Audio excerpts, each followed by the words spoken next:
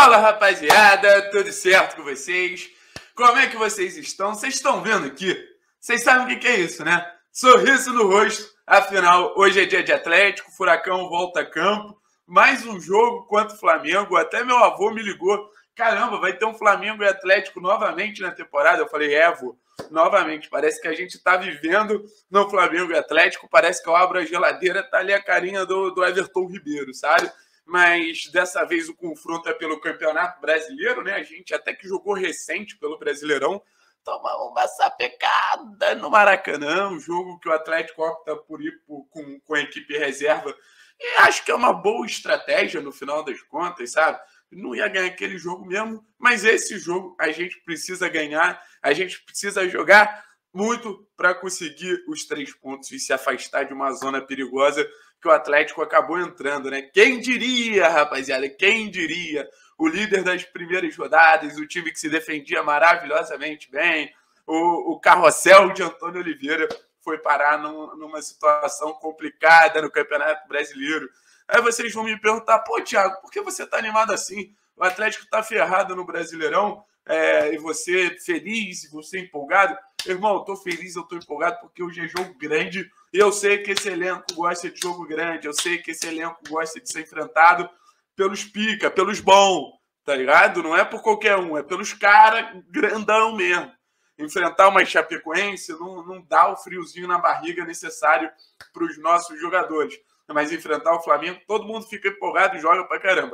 Mas falando sério, eu acho que a primeira pergunta que a gente tem que se fazer em relação a esse jogo é como o Atlético conseguiu eliminar o Flamengo da Copa do Brasil. Lembrando, foi um confronto de 180 minutos. Jogo na Arena da Baixada, o Flamengo vem até com uma escalação parecida, afinal tem muitos desfalques, né? Foi um jogo que o Atlético se perde numa bobeira. Na realidade, são dois, duas jogadas aéreas que acabam resultando os gols do Flamengo.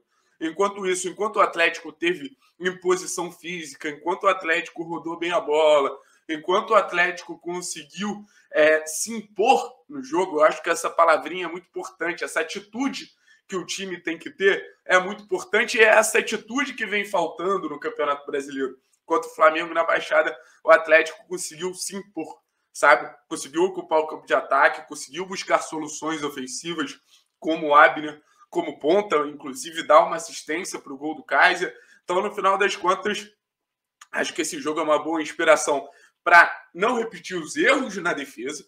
Isso é importantíssimo. Acho que um grande motivo do Atlético estar nessa situação também é pelo fato de sofrer gols constantemente e principalmente na hora de ser certeiro lá na frente, porque a gente vem produzindo muitas chances, só que essas chances não vêm se revertendo em gol, né? Naquele jogo foram dois gols. E no jogo do Maracanã, mais gols ainda. Foram três gols, dessa vez só gols do Atlético. Acho que o difícil a gente ver é uma partida onde o Atlético basicamente se defenda, como foi no Maracanã. O Atlético teve uma estratégia muito clara naquele jogo, que era abaixar as linhas e sair na, na maior velocidade possível, né? E nessa maior velocidade possível que a gente viu os gols nascendo. Então, acho que vai ser um jogo mais equilibrado, de verdade. Minha, minha, meu pensamento para o jogo vai ser esse. Então, respondendo, como o Atlético se classificou contra o Flamengo? Foi mais ou menos assim. O Atlético pode fazer o mesmo nesse jogo do Campeonato Brasileiro? Acho que pode, sabe? Eu acho que tem um fator que precisa ser levado em consideração e muito importante, que é como os jogadores vão lidar com essa partida mentalmente, sabe? Porque você numa semifinal de Copa do Brasil, eventualmente, seu pico mental, seu pico de concentração, seu pico de, cara, eu preciso ganhar essa partida, eu quero ganhar essa partida, ele é muito alto, sabe? Então, eventualmente, seu, seu desempenho aumenta. Não é a mesma coisa no Campeonato Brasileiro. É apenas mais um jogo de Campeonato Brasileiro. A questão é, a corda no pescoço do Atlético começa a dar aquela enforcadinha, sabe? Então, é um jogo de Campeonato Brasileiro, mas talvez a gente não tenha enfrentado um jogo de Campeonato Brasileiro tão importante. Porque no começo, beleza, é legal ali pontuar, é legal você estar tá nas primeiras posições, é legal pra caramba. Mas necessidade é agora.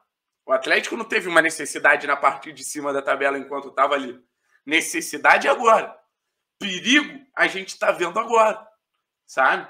Dificuldade a gente está vendo agora. todo o cenário mais complicado possível, a gente está vendo agora. Então, no final das contas, é para entender. Deu ruim. Entramos na briga. Não tem como ser mais claro quanto a isso. Estamos na dificuldade. Vamos sofrer. Sabe? Então, seu Nicão tem que jogar. Seu Terãs, senhor Terãs, precisa voltar a ter um rendimento satisfatório. Participar mais do jogo, buscar mais a bola, sabe? Se aquele Terence do comecinho. Óbvio que é difícil você manter aquele ritmo. Eu sabia que o Terence ia cair de rendimento. Mas não tanto. Não tanto. Nicão precisa fazer uma partida semelhante ao que ele fez na Copa do Brasil. Kaiser.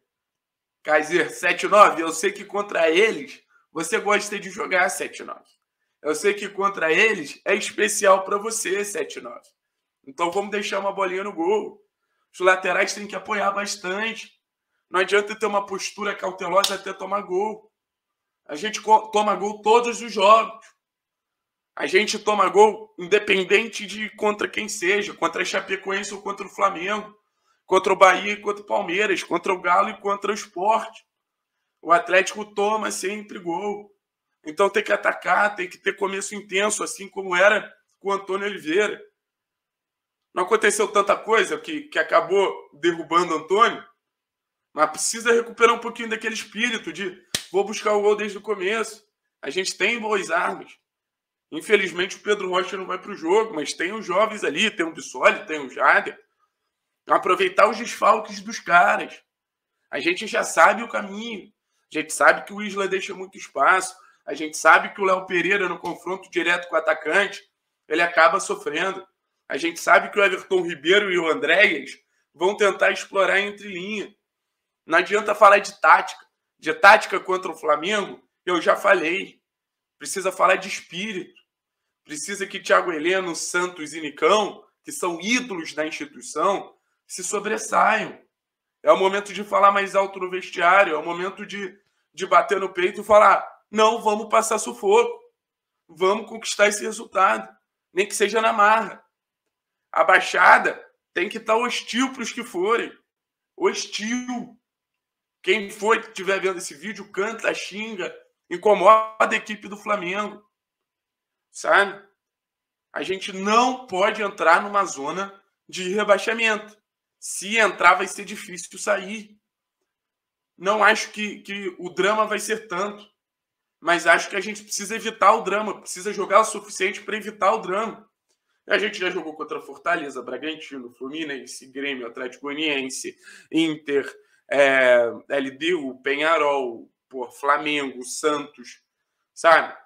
O Atlético acumula boas atuações ao longo da temporada. Não é algo inédito. A gente não está pedindo algo que vocês não saibam fazer. A gente está pedindo algo que vocês já fizeram muito, mas precisa voltar a fazer no Campeonato Brasileiro. Eu sei que o calendário é uma merda. Eu sei que vocês estão esgotados. Eu sei que o elenco é curto, mas não tem jeito. Vocês fizeram tanto para esse ano ficar marcado pelos títulos, pelas conquistas, pelas Copas. E pode ficar. Daqui a poucos dias a gente vai estar viajando para Montevidéu para comemorar junto. Eu já estou ansioso desde já. A gente vai comemorar junto, eu não tenho dúvida.